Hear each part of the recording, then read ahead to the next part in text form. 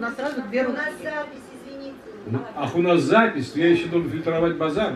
Нет, нет. э, Просто чтобы люди посмотрели, не кроме тех. еще- Территория свободы. Знаем мы вашу свободу. Это я как раз когда последний раз был здесь э, на, на, на ненастье, нас водили, водили, водили, водили, водили, водили, водили. А вот это, это зал свободы, он на ремонте. Я подумал, что это, это писать не надо. Пожалуйста, Это была скажите, шутка. пожалуйста, а, можете ли вы а, какие-нибудь сериалы или фильмы прокомментировать, которые вам понравились в последнее время, а, вот чтобы мы тоже их, может быть, посмотрели, если мы их не видели? Вы знаете, что я... Спасибо огромное. Э, Друзья, во-первых, не вставайте, когда задаете вопросы, да, э, хорошо, особенно женщины, сидите. Вот, значит, э, я, я не самый смотрящий человек, э, тем более, я снимал кино и вообще ничего не видел, не смотрел, не читал. Вот, я темный абсолютно в этом смысле, но думаю, что если я начну перечислять, я перечислю вам все то, что вы уже видели, смотрели, слышали, если вы этим интересуетесь. Поверьте, никакого эксклюзива, да, который так, мне звонят специальные советы, кто посмотри, это пока никто не видел. А, нет, такого нет. Да, и я не смотрю, мне не звонят. А, из наших сериалов э, я считаю, что, в- как сказать, а, всегда а, всегда, я, я всегда уважаю вложение, вложение сил, понимаете, да? Дальше мне это может больше нравится, меньше нравится, а, совсем даже может быть не нравится, но я понимаю, что это сделано, хорошо сделанная вещь. Скажем, э, из последнего э, «Обитель», э, который снял э, Велединский Саша, это хорошо сделанная вещь. Можно спорить по частностям, так сказать, как бы, да, потому что, ну, но я вижу, как замечательно играют артисты, как это сделано, так сказать, что называется, с вложением сил с желанием, чтобы это получилось. Я очень люблю картину Валерия Тодоровского «Оттепель», она не новая совсем, но я могу ее смотреть с любого места, так сказать, как бы э, абсолютно, да. А, Есть какие-то... Но вообще, в принципе, если меня спрашивать, про- предвосхищая вопросы, какие фильмы вам нравятся, мне нравится советское кино, я на нем вырос, воспитан, э, и с ним и помру, потому что, так сказать, как бы э, э, на каких-то замшелых каналах, значит, э, это самое, я ночью нахожу, значит, какие-то не, первые руки советские фильмы, и как дебил смотрю, пока, значит, моя жена, присутствующая здесь, не выключает, значит, самое, не уводит меня, значит, от этого распада. Вот. Я, я, это, я это люблю, я не знаю, я не знаю, я не знаю, я это люблю. И больше вам скажу, э, когда я смотрю, так сказать, не первого ряда, даже не второго ряда советское кино, я вижу, с каким уровнем профессионализма оно сделано. Понимаете? Еще, как говорится, плыть и плыть мутной водой нам, э, я имею в виду нам как поколению, как, так сказать, то самое, да, до этого уровня. Понимаете? Э, Даже не, не, не, не до высочайших шедевров наших советского кино, а просто вот до самого срединного уровня, просто хорошего среднего уровня. Это было очень хорошего качества кино. Я его люблю. Да. Сидите, ради бога. Да. Сергей Владимирович, Да. у каждого, конечно, зрителя есть э, любимые ваши работы. Я даже знаю, какие, да. Ну, вот э, можете не... Хотя Татьяна Анатольевна уже по- подсказала в какой-то степени. Я считаю, что «Ваше долгое прощание» — это совершенно выдающийся фильм и Спасибо. очень хорошая работа. Спасибо. И мне очень обидно, что э, замечательная проза Юрия Валентиновича Трифонова ей не, не везет в кинематографе. Вот кроме вашего фильма, ну, собственно говоря, я не могу даже и назвать, ну, была не очень удачная попытка фильма «По дому на набережной», но Друга- другая жизнь еще была. вот другую жизнь я тоже не С, заметил. Я- с Яковлевой, да. Да, Ну, вот я, я, я понимаю. что Видимо, видимо, не все знают. Да. У, у Трифонова есть и другие произведения масштабные, ну, там, «Время и место», и «Старик», который может быть вообще близок по, по казацкой тематике, которая Да, да, да. в, в этом произведении присутствует. У вас получилось, получилось очень хорошо. Вам не хотелось э, снять еще что-то по Трифонову, чтобы восполнить этот пробел? Это первый вопрос. Да. И второй вопрос. э, Несколько слов про праведника расскажите. Да, конечно. Э, Значит, что касается Трифона. э, Я, я очень любил этого писателя так сказать, в 70-е годы и еще 80-е даже годы. Он был, так сказать, конечно, таким вот его рвали на части, так сказать, журналы было не достать, э, и спектакли ставились и так далее и тому подобное. Да? Фильмов и тогда не было, кстати говоря. По-моему, пытались что обмен, по-моему, сделать, но я не помню, честно говоря. Прибал-. На Прибалтийской одной. Да, что-то такое там было, да. Вот. А Трифонов не очень поддающийся этому делу автор. Потому что, э, потому что у него, э, как бы, во-первых, несобытийная проза, в основном несобытийная. Она, она не насыщена событиями, э, так сказать, поворотами какими-то. Там прелесть этого в течение жизни, вот в течение жизни, вот, вот это вот страшно атмосферное, чудовищно так сказать, бередящая душу, вот это вот течение жизни. А, и поэтому, так сказать, его, его трудно экранизировать.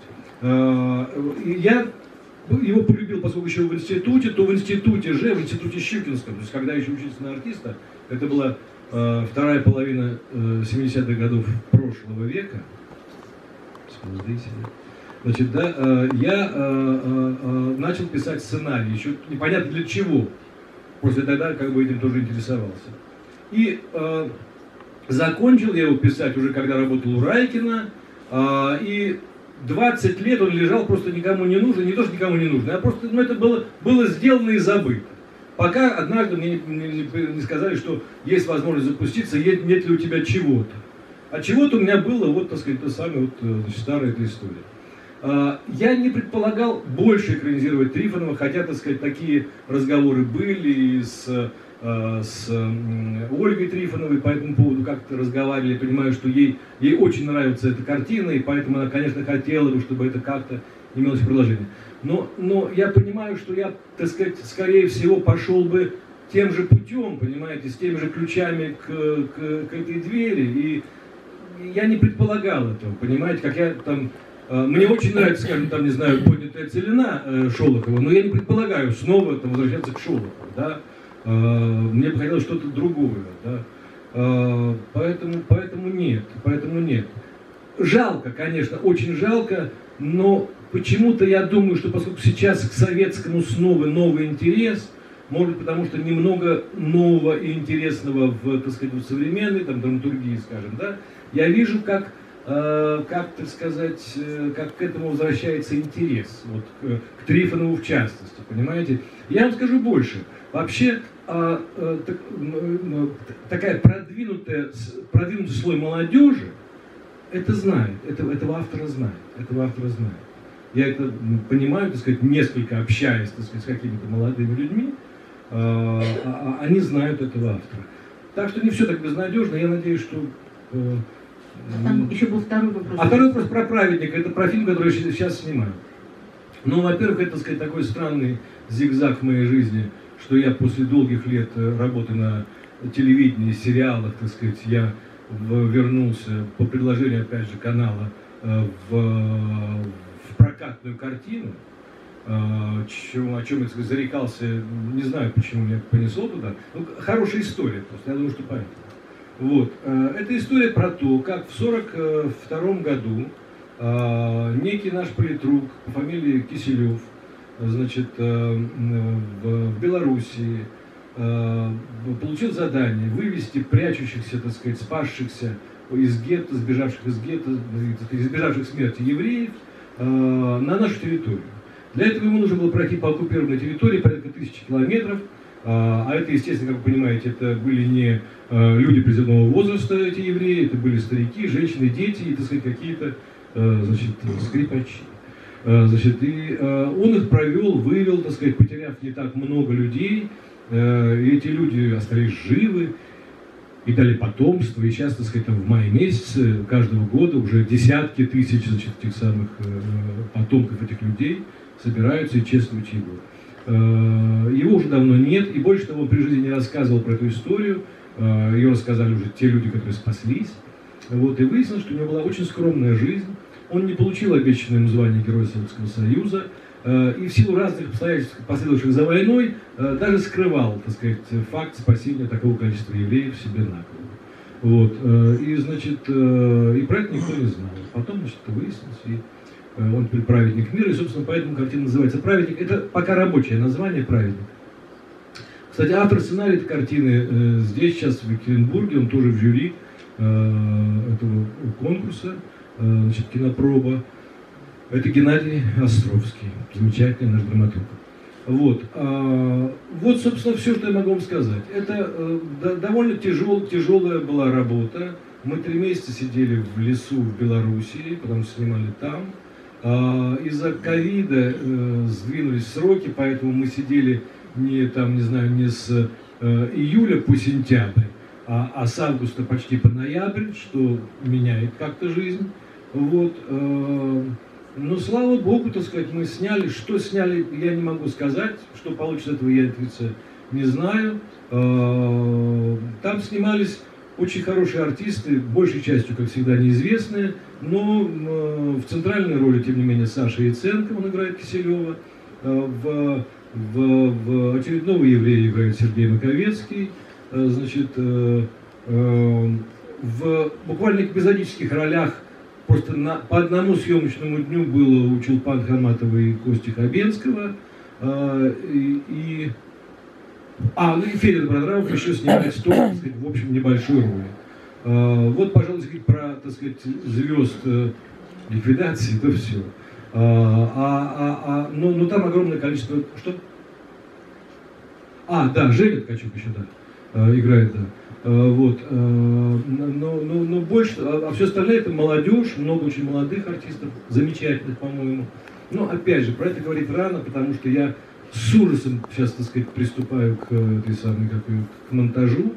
Э, Очень боюсь увидеть, что снял не то, не так, не туда, и не про то. Это вообще я всегда боюсь. Да. А, а, можно я тоже задам? Да, конечно. А был документальный фильм, Да, да. да, список Киселева. Да, список Киселева был такой фильм, да, был такой фильм. Да, был. Но это э, мало ли что было. Нет, ну просто... э, вы- Тихого Дона сколько было? Нет, что нет, это, пугало что- меня когда-нибудь, что ли? Сергей, Да. потому что а, как бы вот вообще про это ничего не знали, нет? Ну, вы знаете что, э, опять же, я уверен, что, так сказать, вот вы знали, потому что вы не выключаете телевизор, а вот люди... Я телевизор, у меня вообще нет. Ну что же вы сразу ты оправдываться начинаете? Но на Я и самом- говорю, вот у вас нет телевизора, вы про это знаете, а вот люди сидят, они, может, не знают, у них есть телевизор, понимаете? Нет, это было на культуре, действительно. У меня диск, очень- Не перестаньте оправдываться, знаете хорошо, что вы, ей-богу. Нет, э, это было, было прямо на самом деле очень много про это тогда Ну говорили. все, значит, я это пропустил. Короче, для меня это была история была, мне ее рассказал Антон Златопольский, потом он же мне дал фильм, и я про это первый раз слышал. Я Можно, самый темный в этом зале. Все. Ну, это на самом деле, по-моему, года два назад было. Я вот не знаю, у меня диск.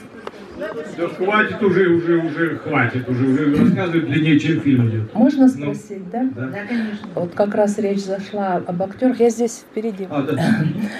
А, Я хотела вас вот, просто очень вопрос спросить.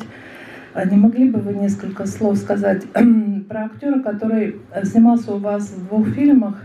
30 лет назад он у нас блистал здесь на сцене в драмтеатре, поэтому многие, наверное, его помнят. К сожалению, в этом году его не стало.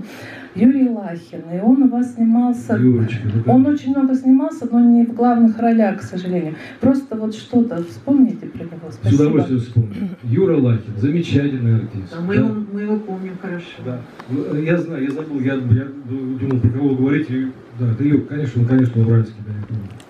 А, С Юрой Лахиным познакомились в театре «Сатирикон». А, По-моему, я уже ушел из театра, когда он там появился, но они много партнерствовали с моей женой, э, с Ликой Нифонтовой, и, а, и я на него как-то вот обращал внимание всегда.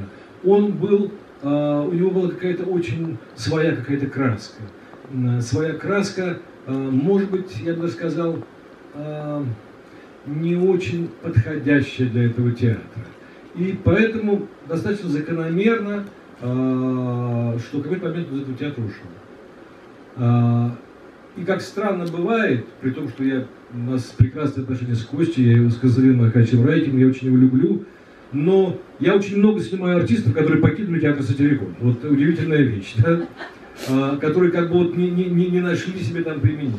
И Костя Лавроненко, и Юра Лахин, и большое количество артистов я снимаю.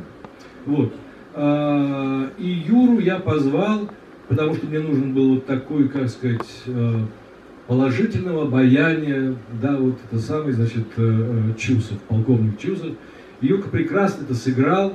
и он хорошо себя вел. а, Но поскольку я знал, что он а, артист разнее, чем это вот такая краска, да, то я его позвал на острохарактерную роль в Исаеве.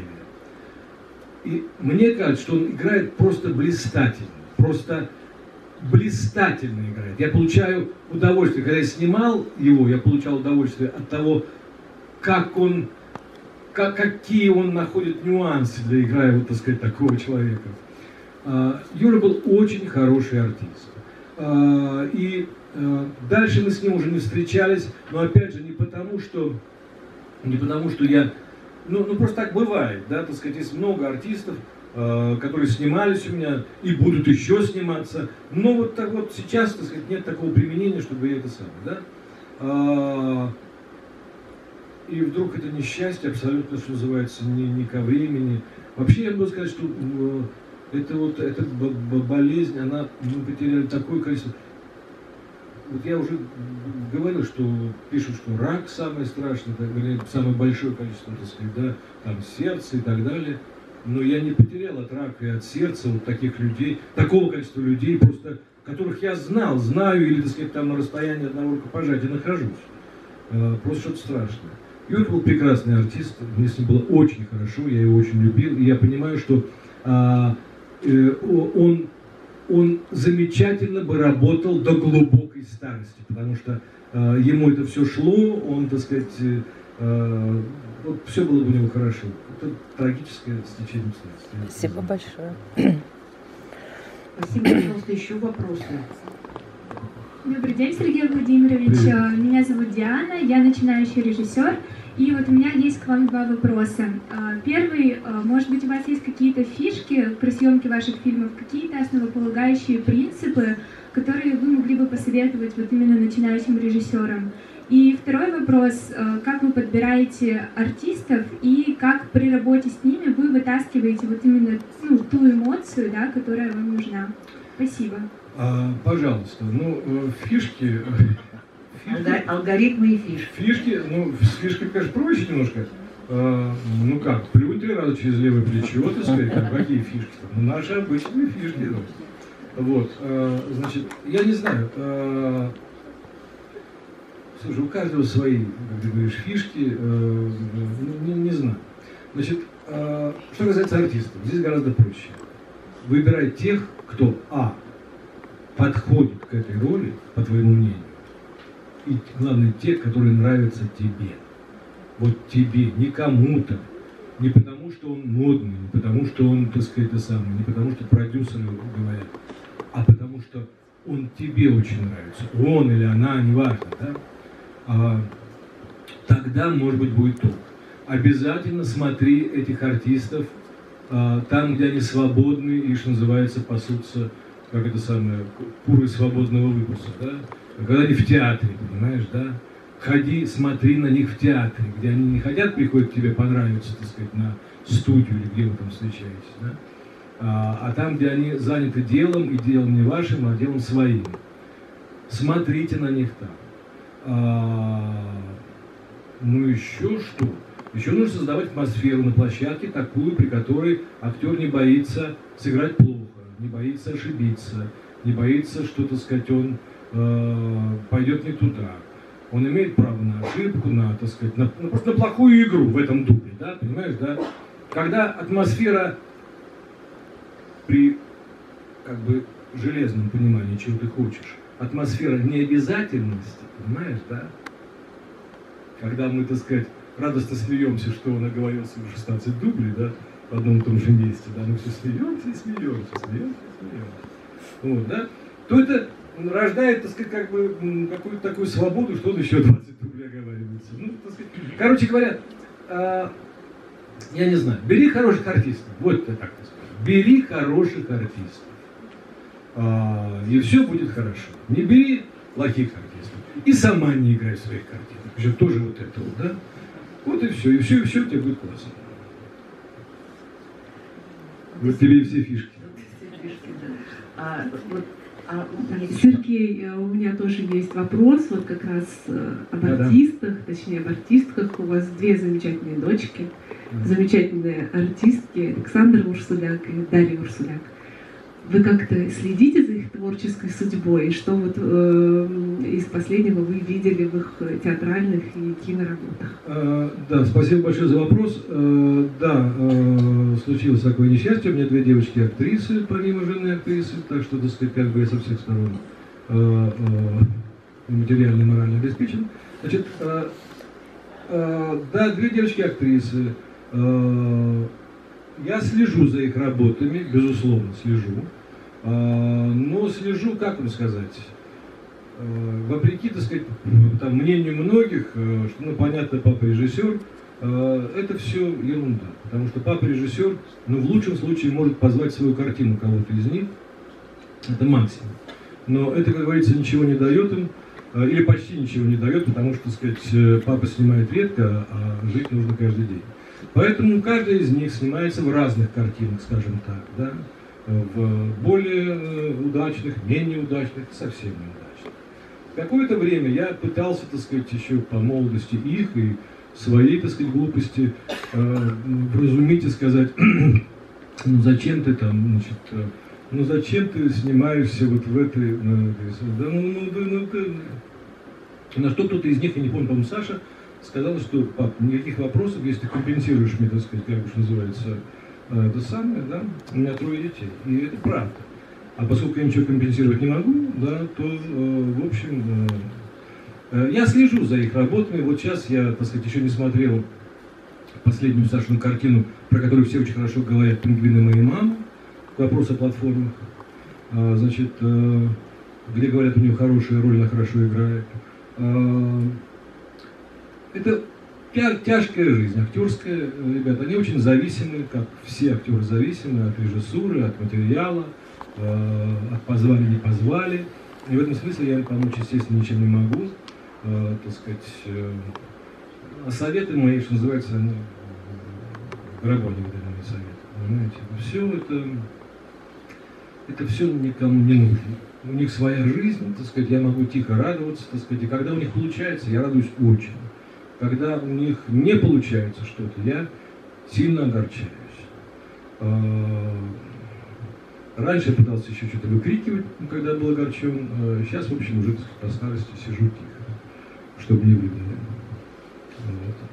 Я хотела тоже про фишки спросить. Э, Что ж такое? Ну, это так, конечно, это не фишки, но вот в одном интервью вы сказали... Ну, мульки. Нет. Не в, одном, мульки? в одном Хорошо. интервью вы сказали, что вы снимаете только на пленку и всегда будете снимать на пленку так, как вас когда-то научили в Авгике. Вот так вот, я дословно помню цитату. То есть вообще в связи с этим, как у вас отношение ко всяким техническим фишкам? Значит, ну вы недословно помните цитату, потому что в Авгике я не учился. Ну, где-то. Где-то учился, да, это правда. Я учился на высших курсах. А, В Авгик меня не принимали дважды. И за это я теперь там преподаю. А, Страшная месть в ГИКу. А, Значит, к- а, я соврал в том интервью. Вернее, тогда, когда это говорил, я говорил правду. Я действительно э, снимал э, на пленку э, и снимал до последнего. Хотя, скажем, не Насте, я уже половину картины снял на пленку, половину на цифру. То есть я современную часть снимал на цифру, а ретро снимал на пленку. А, а сейчас, э, поскольку ко мне пришел молодой оператор, новый, э, значит, э, и мы снимали вот эту картину, э, значит, «Праведник», у нас был выбор, и я спрашивал его, так сказать, но все-таки это в огромной степени еще и выбор оператора. Я спросил его, зачем будем снимать. Мы долго обсуждали пленку, а потом сошлись на цифре по очень многим па- параметрам, так сказать. Но зато мы, там у него были заказаны там объективы, объективы э, такого, так сказать, уровня, что, э, что называется, те, кто думали, что мы на этом сэкономим, они глубоко ошиблись. Короче говоря, сейчас мы снимаем на, на цифру. Э, пока изображение мне нравится, да, ну а дальше посмотрим. Тогда, когда я это говорил, я честно хотел и, и все равно считаю, что пленка лучше. Считаю, что плен... Я считаю, что пленка лучше. Но оператор решил снимать на цифре. Какие-то другие всякие технические новшества, которые любят ну, другие наши режиссеры?